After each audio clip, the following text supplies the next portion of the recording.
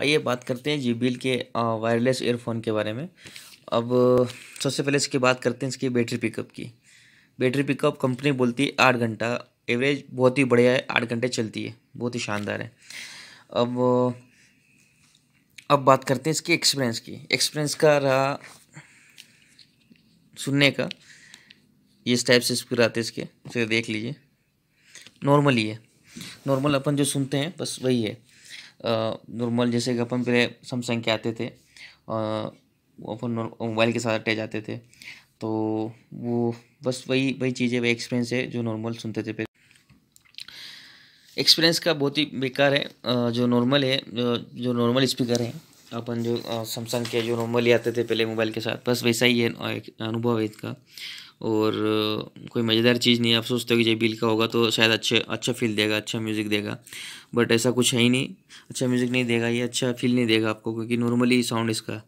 और अब बात करते हैं इसकी सर्विस की। सर्विस की बात करते हैं तो सर्विस इसकी, ये हमने इसको यूज़ करते करते आठ महीने हो गए। और छः महीने के अंदर अंदर इसका लेफ़्ट हैंड साइड वाला स्पीकर ख़त्म हो चुका था।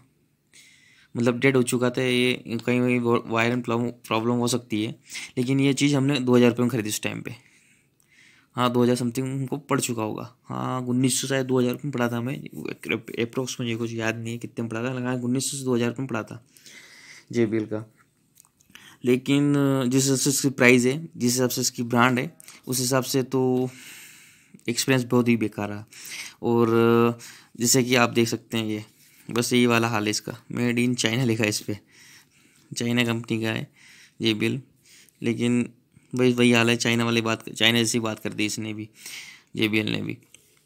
यदि मैं खुद होम थिएटर खरीदने वाला था इस बार जे बी एल का, सोच रहा था ख़रीदने का।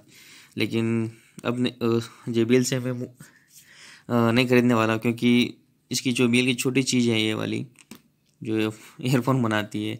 एयरफोन का एक्सपीरियंस मेरे को बहुत ही ख़राब लगा तो मैं ख़रीदूँगा, ये सोने का ख़रीद लूँगा कम बजट में। और यदि मुझे अच्छा ख़रीदना होगा तो मैं बोस का ख़रीद लूँगा लेकिन जे का मैं होम थिएटर नहीं ख़रीदने वाला हूँ, क्योंकि बहुत ही बेकार रहा है। और इसके साथ जो आता है चार्जिंग केबल वो अपने मोबाइल के साथ जो अटैच होता है स्लोट वही है। मोबाइल नॉर्मल जो स्लोट आते हैं चार्जिंग के, उससे आप कर सकते हैं। इसके साथ एक छोटी सी केबल आती है, लेकिन उसकी ज़रूरत ही नहीं पड़ेगी, क्योंकि आप मोबाइल चार्जर से आप इसको चार्ज कर सकते हैं नॉर्मली ठीक है धन्यवाद।